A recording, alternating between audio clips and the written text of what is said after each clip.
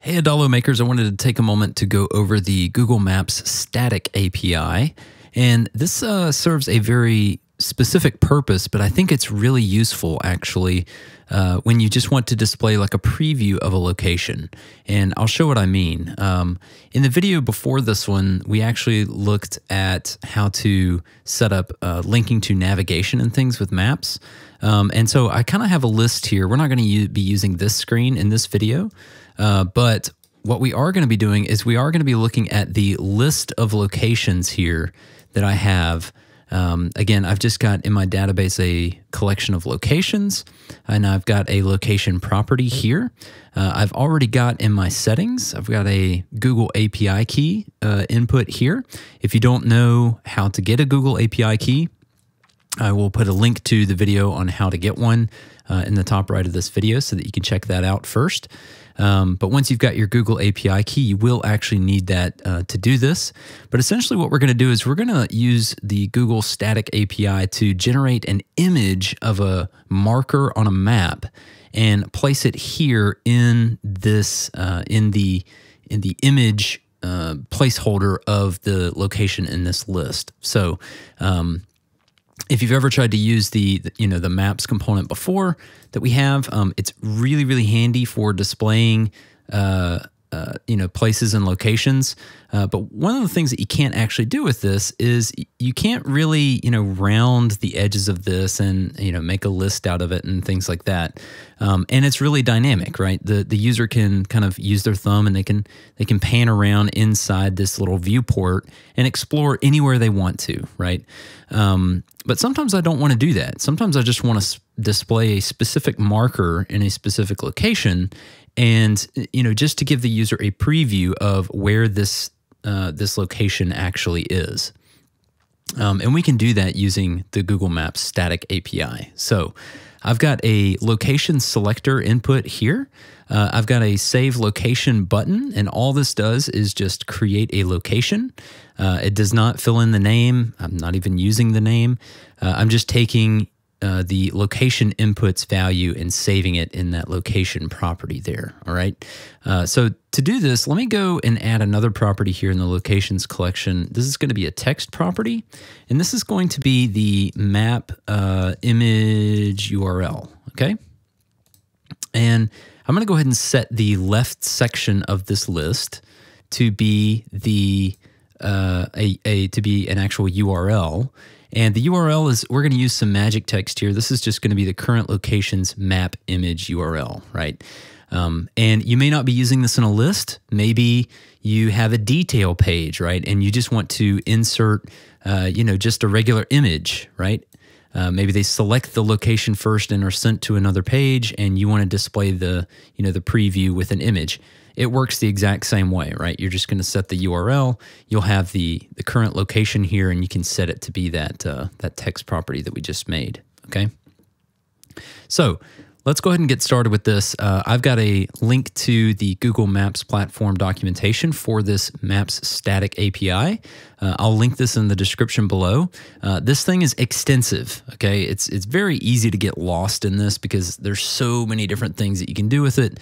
As you can see here, you can like change the you know the the tagging uh, of the of the little pins here. You can change the colors, the little uh, letters that are on them all kinds of crazy stuff that you can do this. You can change the the styling of the map, make it a dark dark theme map if you want. We're not going to get into all that. That's outside the scope of this video. But what I am going to show you is kind of how to structure this. So uh, I'm going to go over here and click on Get Started. And you will see here that it gives us kind of a base URL here that we can start with. Okay, so I'm going to take this here, and these parameters are going to be how we tell Google what we want to show in this map image, right? Um, and this this URL is actually the the source URL for the image, right? Normally we're referencing the database for an image or some external URL. We're going to do the exact same thing with this. Okay, so I'm just going to copy this. We'll go over to our save button here. And in this map image URL, I'm just going to paste this, this URL here. Okay. Now this question mark tells me that I'm going to put some parameters after this, uh, you know, after this URL.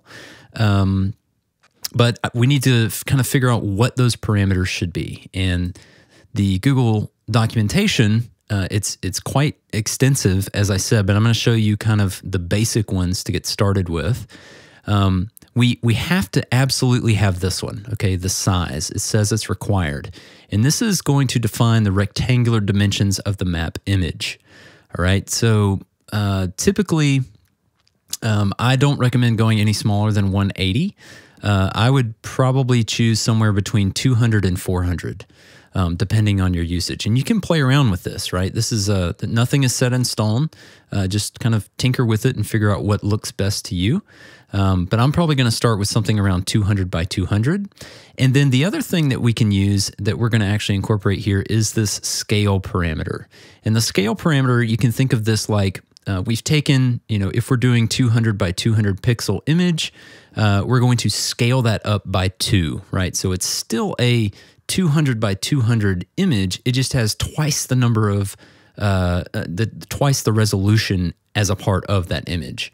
Um, and you can see this here in these kind of in the scale value example that it's that it's uh, showing here. So it's saying, you know, uh, if you reduce the size of a 200 and 200 by 200 pixel image to only 0.7 of an inch, uh, they can be too small to read, right? So here's the original image. If you scale it up on a on a screen, these sections here can get kind of blocky, right? They're, they're pixelated.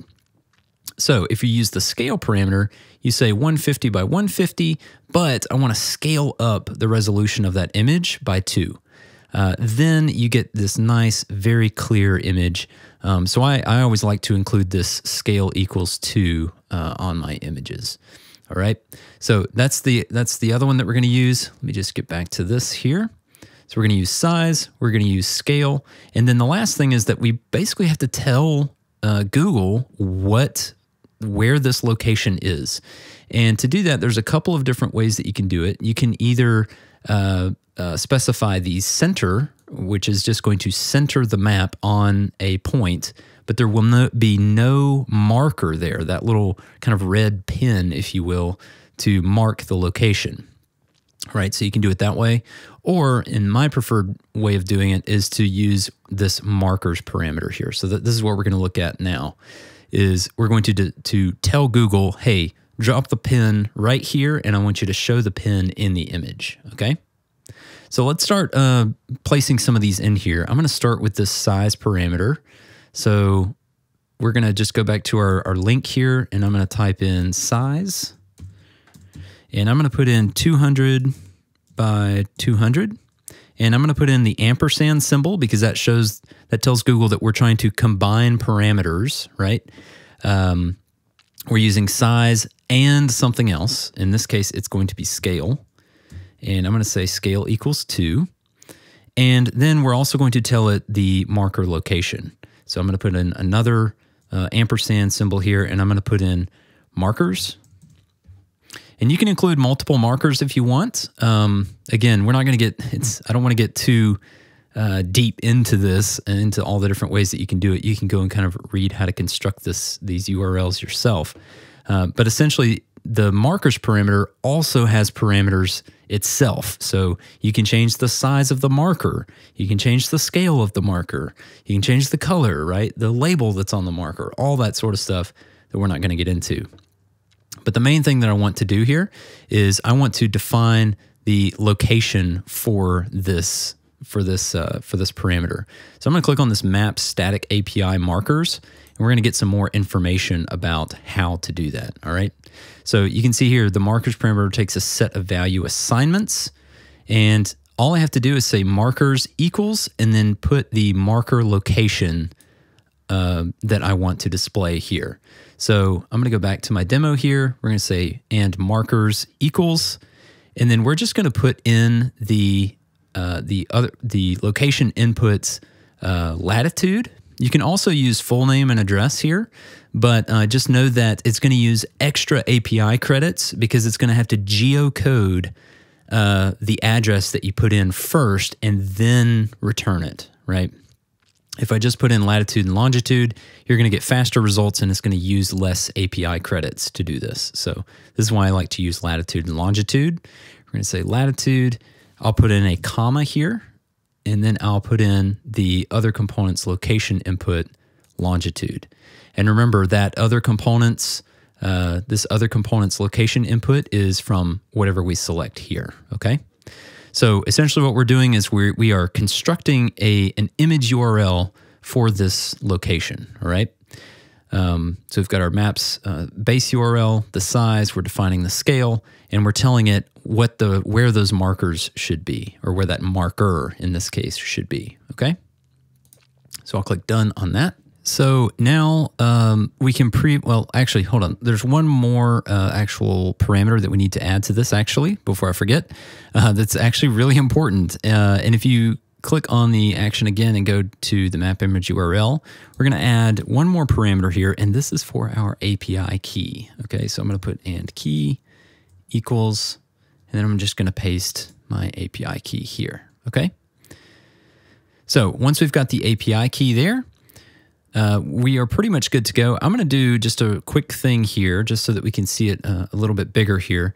But on the click action for this list item, I'm actually just going to link to a new screen and we will actually make this an info screen, I think. Yes. All right. And let's grab this screen and I want to make this the kind of the, you know, the the location preview. So I'm just going to make this kind of like a square um, we'll try and make this as even as possible. And we'll make this rounding, we'll turn this rounding up, maybe add a border, eh, whatever you want. It's fine. Okay, cool. So we've got like a little, uh, a little preview here.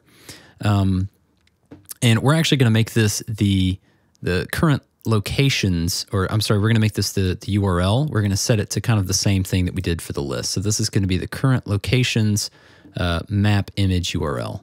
Um, and I do want to say that you can also construct the URL right here as well. You don't have to save it as a part of the record like we did with this button, right? Um, you can actually, you know, the same way that we constructed the URL in the action, you can actually just construct it right here, right? Just put the, you know, HTTPS, uh, you know, maps static API URL right here and then just add all the parameters onto it. Um, and that makes it, that does actually make it a little bit easier to change. Uh, and that way, if you do need to make a, a, change to it or you want to customize it differently in the future, you don't have to go through your database and change all the URLs. You just change it right here um, and then display the latitude and longitude uh, right here in this uh, in in this URL field. Okay, so let's uh, let's give this a quick preview, really quick. And I'm just going to search for the university in my hometown here. I'll save this as a location, and you can see that it gives me like a nice little uh, kind of, uh, uh, I guess, preview image of that uh, that pin. And if I click on this, you can see that there's a bigger there's kind of a bigger preview of it, right? So we're using that API URL that we constructed as the source of that image. So it's pretty cool. You're able to kind of build in these dynamic uh, but static um, images of a map, right? I can't click inside this. Uh, right? I can't click inside and move it around. It's just kind of showing me here's where it is. These are the things around it. Here's some, you know, labels and roads and things like that that go with it. Okay. So that's how you can quickly, you know, and pretty easily add uh, these static uh, map previews to your apps.